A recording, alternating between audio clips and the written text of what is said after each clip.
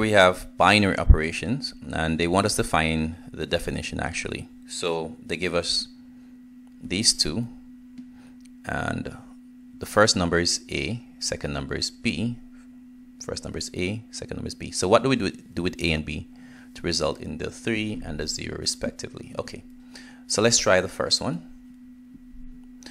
Um, if we square A, A is, let's look at the first one, 3 star 6. We square A, that means we're squaring 3. And then we subtract, according to this, we subtract B. And B here is 6. And that will give us 9 minus 6, which is 3. And this is what we got here. So that's good. All right, let's see if it works with the other one to know if we can use that option. So the next one is going to be the square. Remember, we're still looking at A, right, which is square A minus B. So A in this case is 2. So looking over here now, square 2, which is a, minus b, which is 4. Let's see, 2 squared is 4, minus 4 is 0. And that's exactly what we got here. So a would be our solution. Let's look at the next question.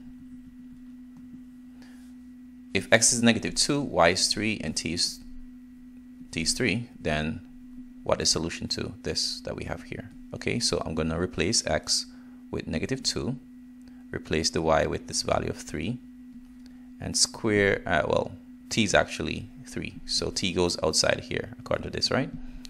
So t is 3, so I'm going to put it there. So that's be negative 2 times, sorry, negative 2 over 3 times negative 2 over 3 times negative 2 over 3.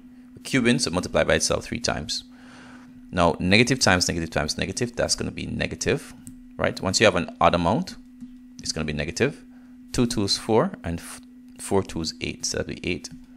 3 threes 9 and 9 threes 27. So the answer is going to be um, 8 negative 8 over 27 which is B.